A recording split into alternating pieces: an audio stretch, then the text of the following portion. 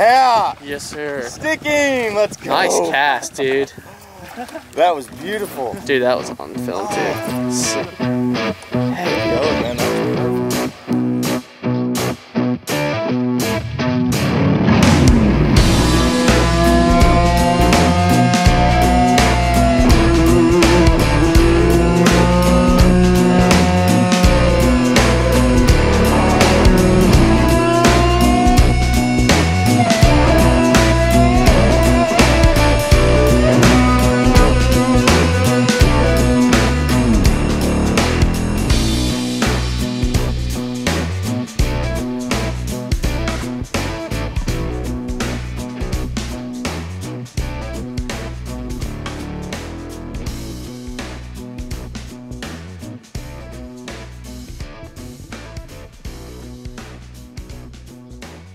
After spending the first day of catching slot reds back in the marsh, we decided to move out of the grasslands and closer to the Gulf of Mexico in search of our ultimate goal catching a 40 inch redfish on the fly.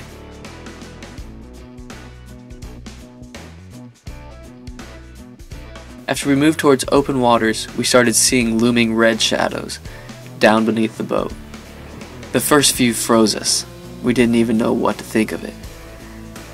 But then, Stephen pulled it off.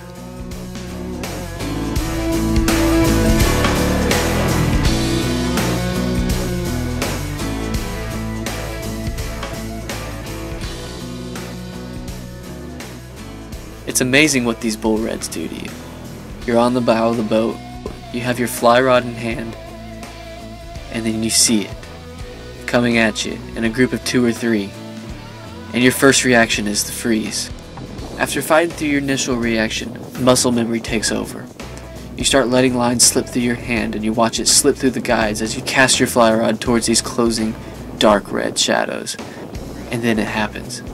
All of a sudden, it feels like you have a freight train on the end. Needless to say, I had no control. We finally had to pull after him. Justin had to jump out with the net and chase it down because we were just making no progress with the seven weight fly rod.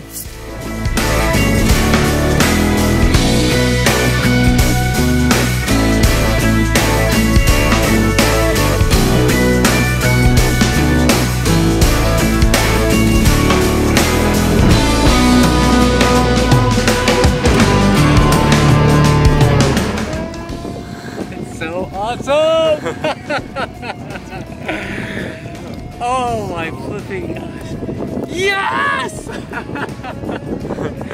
Heck yes! Finally got our 41 and a half inch redfish. Full team effort. Steve with the spot and the pulling on the platform, Justin with the net job and the behind the camera, and the rest was just in the books, man. Finally got our goal for this trip, and we're only two days in, and I think it's only gonna get better. And we're gonna let her go now, and all good.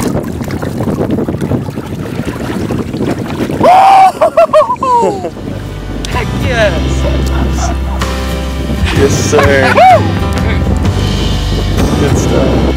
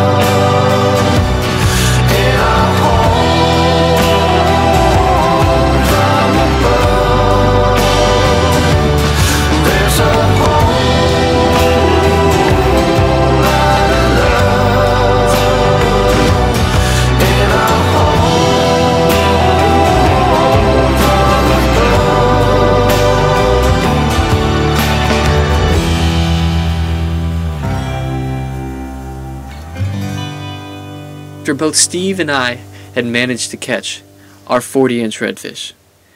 Day three was coming down to Justin pulling it off.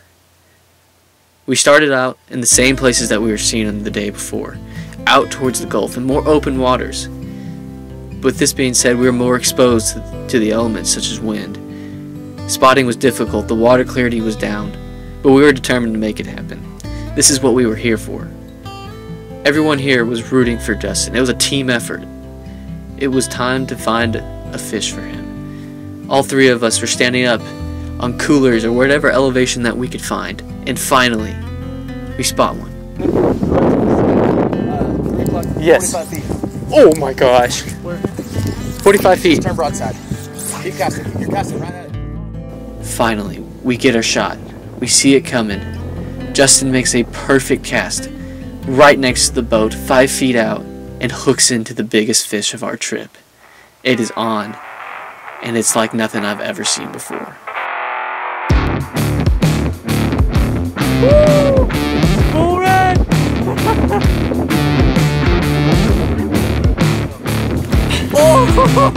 Actually,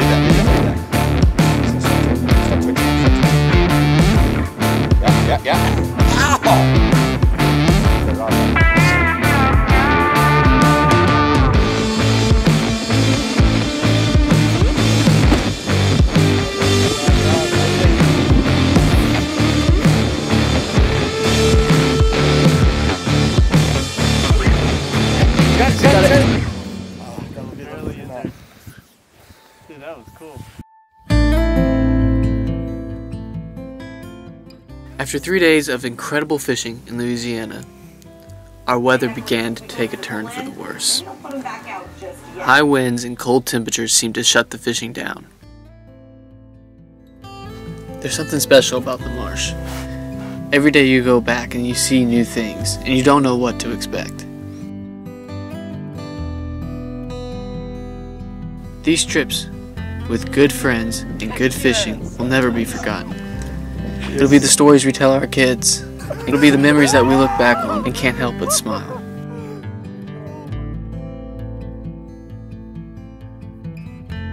As fly fishermen, these adventures are what we live for. It's what we wake up in the morning and think about and plan and scheme.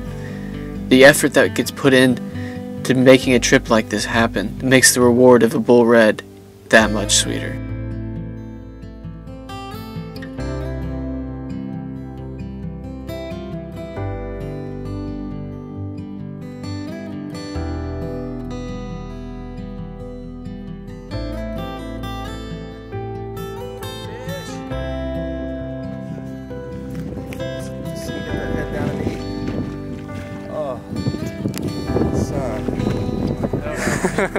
Just belly up and eat.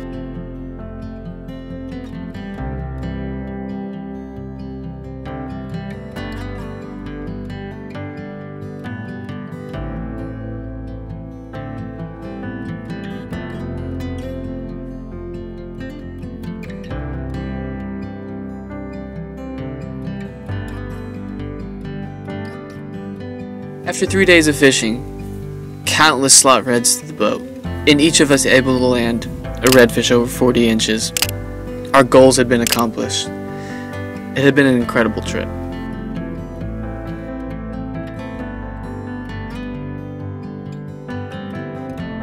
This has been a bucket list trip for us. Catching bull reds like this is not something you get to do every day, and it's not something that we take lightly. And we can't wait to get back and catch more hammerfish.